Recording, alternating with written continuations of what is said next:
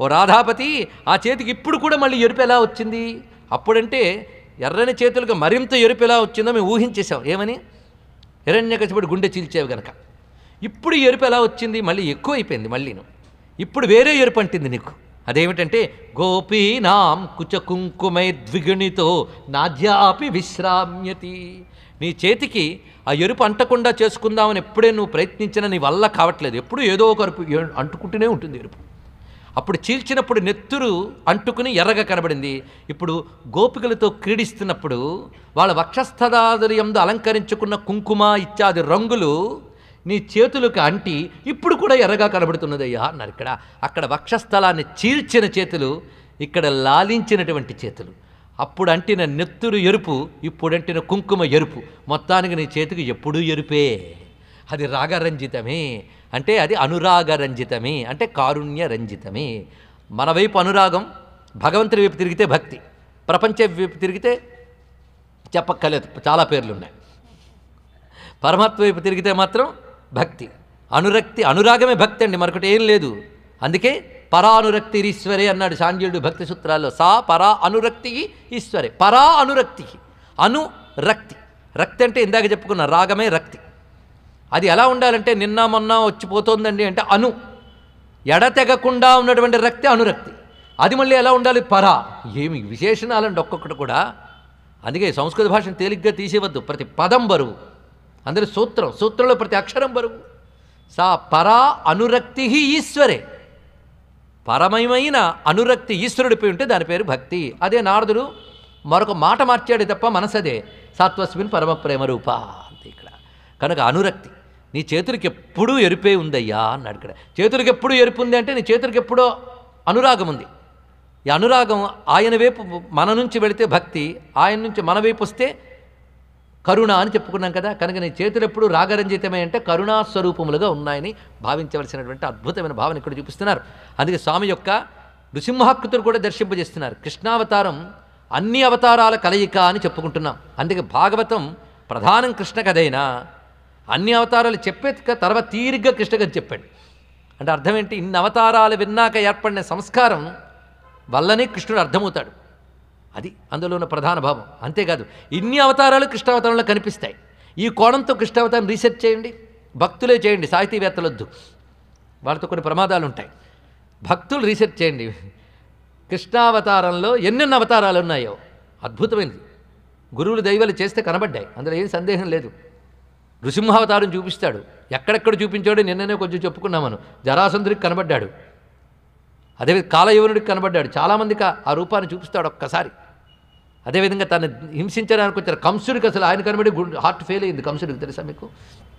గుండె ఆగిపోయింది. కృష్ణుడు పైకి ఎగరినంటే గుండె ఆగిపోయిన వాడు జుట్టు అంతే మరేం లేదు ఇక్కడ. పెద్ద యుద్ధమేం లేదు ఇక్కడ. అలా వాడికి ఎలా కనబడి ఉంటాడు? పైకి వెళితే పైకి వెళ్ళినప్పుడు ఎలా కనబడ్డాడో పోతన గారు వర్ణించారు. ఒక కొండ కొన మీద నక్క ఉంటే దాని మీదకి సింహం దుమికినట్టు కృష్ణ పరమాత్మ కంసుడున్న మంచి మీదకి ఎగిరాడు అని చెప్పాడు ఇక్కడ. ఆ సింహం ఎవడు? నరసింహం కాదు? పరిశీలించండి ఇక్కడ.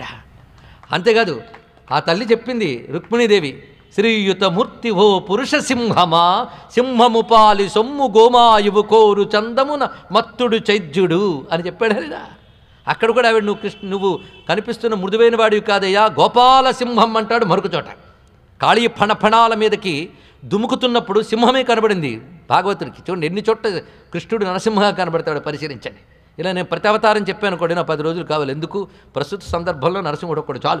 ఆయన అన్ని అవతారాల్లాగా లోపల ఎలా తిరిగాడో పోతన గారు అలగు వర్ణించారు. ఆ కాళీయుడి మడుగులో తిరుగుతున్నప్పుడు చేపలా ఒకసారి తిరిగెట్ట కూర్మంలో అక్కడక్కడ ఆగిపోయేట.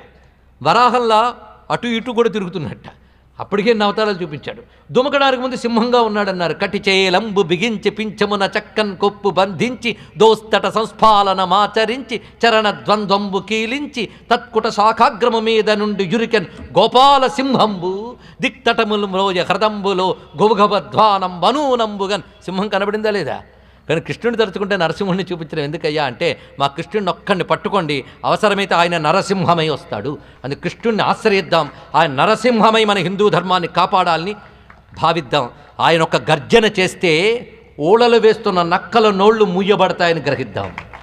అందుకు గోవిందుడికి పట్టాభిషేకం చేసి పరిసరాల్లో మోగుతున్న నక్కల ఓళళ్ళు మోగించమని హిందూ ధర్మంపై అవాకుల చవాకులు పలుకుతూ మార్పిడులనేటువంటి కుతంత్రాలు పన్నుతున్నటువంటి పాపపు ధర్మములన్నీ క్షీణించుగా కానీ గోపాలసింహానికి మనం ప్రార్థన చేసుకున్నాం.